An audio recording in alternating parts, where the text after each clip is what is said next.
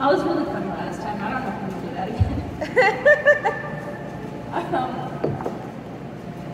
so I'm actually really into the masks. Uh, I think they're fucking great. Um, especially right now when it's cold as tits out. Uh, I live downtown, I walk to work, and a year ago I was thinking about this pre-pandemic beautiful time in Farmington. Uh, and I was like, man, uh, the skinning it, hurts when I go outside, the air's terrible, uh, but if I put on a ski mask to walk to work, I'm gonna get some trouble. And I can't do that, and then lo and behold, I willed it into existence. Now I have something to cover my face, uh, as do the rest of us when we go outside. Uh, I work hospitality, which um, is delightful, I guess.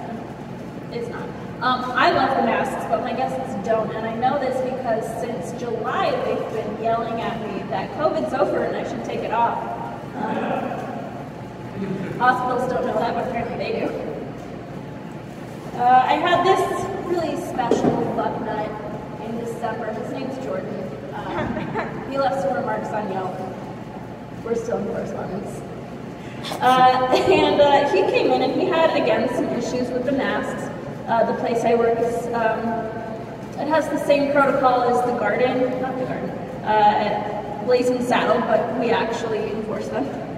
And uh, he had some issues with it, so I walked him through what we expected, and he asked me, am I allowed to have my chest hair out? And I said, sure, because it was patchy and it looked bad and I wanted him to suffer. Uh, and then he followed that question up with, do I have to wear my mask in the bathroom?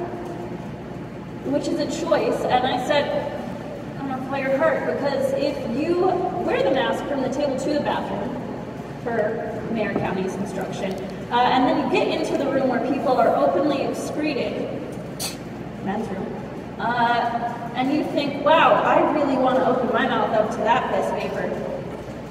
More power to you. Follow your heart. Uh, in these moments, I'm especially glad for my mask because as I'm necking a bottle of red behind the host stand at the bar that I run, uh, I'm really thankful that my boss can't see my purple teeth, nor can the guests, or the people that work under me. Um, also hiding things. A lot of dudes are trying to grow their mustaches, and it's a good way to hide that shit stash, that weird middle ground of uh, it looks terrible and it's going to keep looking terrible, but you haven't figured it out yet. I'm actually into this look because everyone I've dated since 2015 has ended up unemployed. oh, it's true. It's sad. Um, that actually includes the dude I'm seeing right now. He already had a beard and he's working on a mustache. I don't know. Apparently there's a difference. I'm not sure what it is. Um, but I can't really blame them because when I look at a photo of myself from a year ago and a photo of myself now, uh, it kind of looks like I've got a Richard Nixon face filter going on.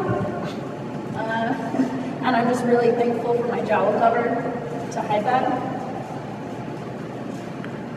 No mask crowd, that's okay. Uh, I wish you all the best and I'll see you in a week. Yay!